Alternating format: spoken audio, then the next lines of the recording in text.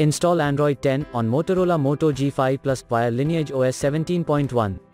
Please check the description for important notes and all the download links. First download ROM and GApps packages, then transfer the downloaded files to the phone storage, link is in the description below. Step 2. Boot your device into TWRP recovery. Once in TWRP, click on Wipe, Advanced Wipe, and select the check boxes, as shown in the image, excluding internal storage. Step 4. Swipe the button to wipe the device.